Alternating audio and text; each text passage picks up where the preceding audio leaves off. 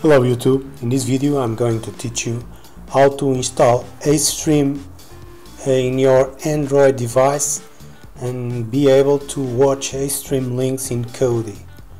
Okay, I'm first I'm going to show you that is working.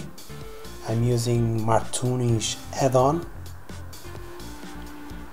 and I will click one link with AceStream so it's loading.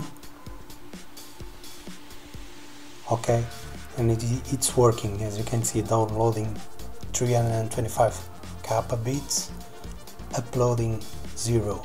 As you can see I, am on uh, mini Xbox and I have a stream open and Kodi okay so I'm going to show you what do you need to do in order this to work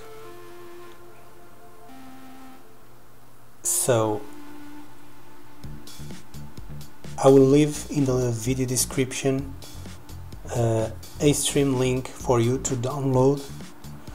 After that you may put it in a SD card and stick it in your device or put it in Dropbox and download it to your device as you wish. So install AceStream engine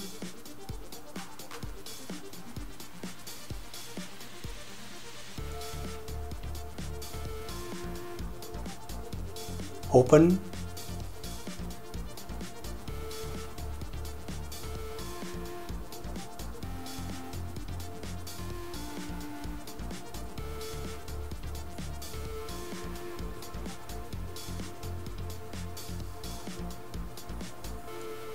Okay here it's done. So whenever you want to use AceStream links you need to open AceStream application before you open Kodi okay? Now in Kodi we need to go to Plexus. If you don't know how to install Plexus search my channel. I have a video teaching you how to install Plexus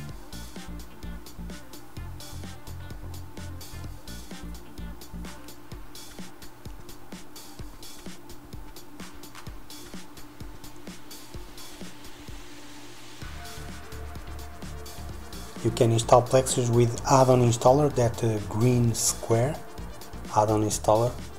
And this is Plexus. Just click it.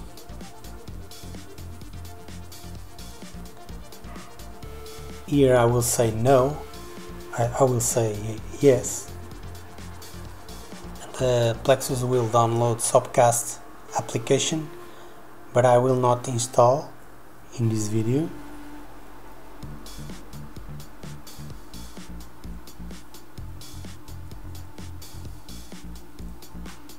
okay?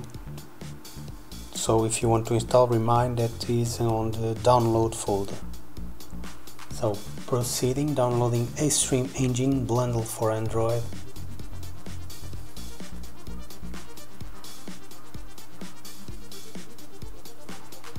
Extracting models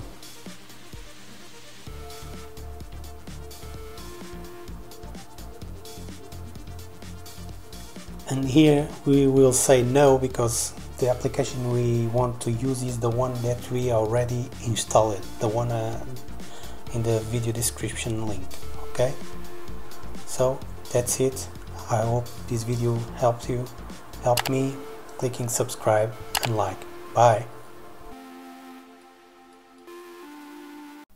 If you like this video please subscribe